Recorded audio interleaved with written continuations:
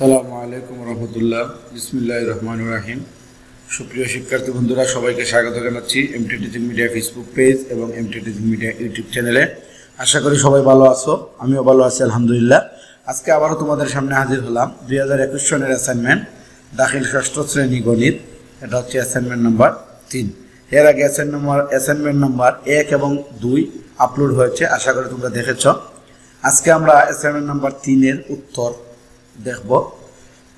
এগুলা মোটামুটি একশো পার্সেন্ট নির্ভুল উত্তর, যেগুলো আমি কয়েকবার যাচাই বাছাই করে তোমাদের জন্য প্রস্তুত করেছি।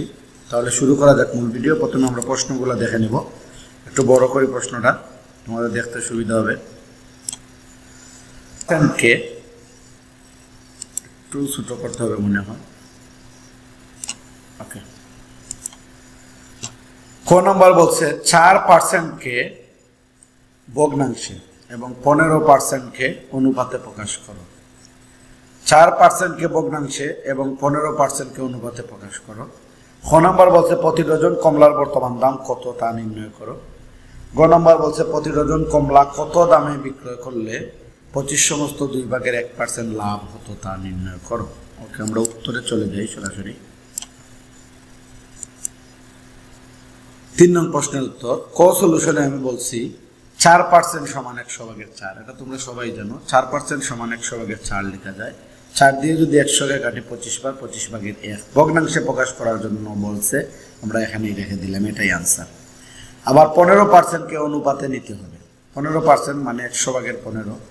পাঁচ দিয়ে যদি আমরা কাটি, পাঁচ দিয়ে পনেরোকে কাটলে তিন, পাঁচ দিয়ে একশোকে কাটলে বিশ। বিশ ভাগের তিন লেখা যায়। বিশ ভাগের তিনকে তিন অনুপাত বিশ লেখা যায়। এটা আশা করি তোমরা জানো যে দুই ভাগের এক মানে এক অনুপাত দুই, বিশ ভাগের তিন মানে তিন অনুপাত বিশ। খ নাম্বার, কমলার দাম পাঁচ সমস্ত সাত ভাগের এক পার্সেন্ট বেড়ে যাওয়ায় পূর্বাপেক্ষা পাঁচশো বান্ন টাকায় পূর্বাপেক্ষা আটটি কমলা কম পাওয়া যায়। ওকে, তাহলে আমরা এটা পাঁচ সমস্ত সাত ভাগের এক পার্সেন্টকে সাত ভাগের ছয়ত্রিশ লিখতে পারি। পাঁচ সাতা পঁয়ত্রিশ আরে ছয়ত্রিশ, মিশ্র ভগ্নাংশকে মিশ্র ভগ্নাংশকে আমরা প্রকৃত ভগ্নাংশে নিলাম। পাঁচ সাতা পঁয়ত্রিশ আর একশো ছয়ত্রিশ সাত ভাগের ছয়ত্রিশ অর্থাৎ হর ঠিক থাকে আর লবে হয় পূর্ণ অংশ গুণ হর যুগ লব পাঁচ সাতা পঁয়ত্রিশ আর ছয়ত্রিশ বেড়ে যাওয়ায় একশো টাকায় বেড়ে যায় সাত ভাগের তিনশো টাকা। কেন এটা লিখলাম? এখানে তো পার্সেন্ট দেয়া। তাহলে একশো টাকায় বেড়ে যায় সাত ভাগের তিনশো টাকা। এক টাকায় বেড়ে যায়, এই যে একশো টাকি আছে?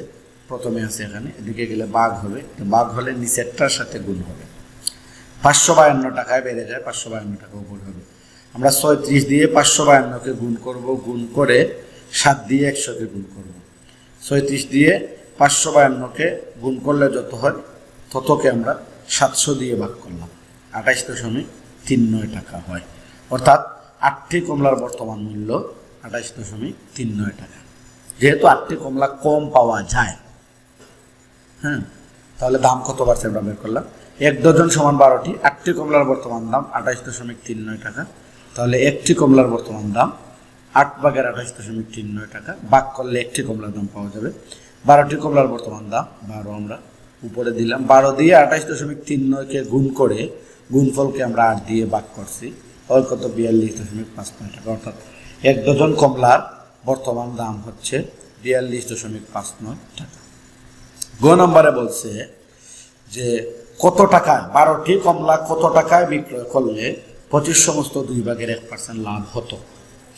তাহলে আমরা দেখি এটা কত হয়? পঁচিশ দুগুণা পঞ্চাশ আর এক একান্ন, দুই ভাগের একান্ন পার্সেন্ট লাভে ক্রয় মূল্য একশো টাকা, হলে বিক্রয় মূল্য হবে একশো যোগ দুই ভাগের পাঁচ এক টাকা, দুই ভাগের একান্ন টাকা, ঠিক আছে?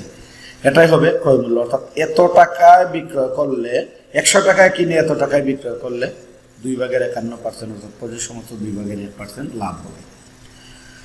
এখন একশো এর নিচে মনে মনে আছে এক এক আর দুই এর লসাগু দুই। এক দিয়ে দুইকে ভাগ করলে দুইবার দুই দিয়ে একশো গুণ করলে দুইশো প্লাস দুই দিয়ে দুইকে ভাগ করলে একবার একান্ন, একে একান্ন, দুইশো দিয়ে একান্ন, এর সাথে যোগ করলে দুইশো একান্ন, দুই ভাগের দুইশো একান্ন টাকা। এখন কমলা ক্রয় মূল্য একশো টাকা হলে বিক্রয় মূল্য, অর্থাৎ এত টাকায় বিক্রয় করতে হবে। তো কমলা ক্রয় মূল্য এক টাকা হলে একশোটা নিচে হবে ভাগ। কমলার ক্রয় মূল্য বিয়াল্লিশ দশমিক পাঁচ নয় টাকা হলে এটা উপরে হবে। দুইশো একান্ন দিয়ে বিয়াল্লিশ দশমিক পাঁচ নয়কে গুণ করে দুইশো দিয়ে ভাগ করতে হবে। তাহলে ভাগ করলে তিপ্পান্ন দশমিক চার পাঁচ টাকা, অর্থাৎ বারোটি কমলা তিপ্পান্ন দশমিক চার পাঁচ টাকায় বিক্রয় করলে পঁচিশ সমস্ত দুই ভাগের এক পার্সেন্ট লাভ হতো। সকল শ্রেণির সকল অ্যাসাইনমেন্ট পেতে আমাদের ইউটিউব চ্যানেলটি সাবস্ক্রাইব করে পাশে থাকা বেল আইকনটি প্রেস করে রাখবে এবং যারা আমার ফেসবুক পেজে ভিডিওটি দেখতেছে অবশ্যই ফেসবুক পেজটি লাইক অ্যান্ড ফলো দিয়ে রাখবে। যাতে নতুন নতুন ভিডিও আপলোড হলেই সাথে সাথে নোটিফিকেশন পেয়ে যাও। এবং ষষ্ঠ শ্রেণি থেকে অনার্স দ্বিতীয় বর্ষ পর্যন্ত গণিতের জন্য, গণিত আইসিটি এর জন্য আমাদের ইউটিউব চ্যানেলটি সাবস্ক্রাইব করে রাখতে পারো ফেসবুক পেজটি লাইক অ্যান্ড ফলো দিয়ে রাখতে পারো। এবং নবম, দশম শ্রেণির পদার্থ রসায়ন, জীব, উচ্চতর গণিত সাধারণ বিজ্ঞান, ভূগোল, পৌরনীতি, ইতিহাস এবং একাদশ দ্বাদশ শ্রেণির পদার্থ রসায়ন জীব এবং উচ্চতর গণিতের জন্য অবশ্যই আমাদের ইউটিউব চ্যানেলটি সাবস্ক্রাইব করে রাখবে এবং ফেসবুক বেশি লাইক অ্যান্ড ফলো দিয়ে রাখবে। আজকের মতো বিদায় নিচ্ছি। আল্লাহ হাফেজ।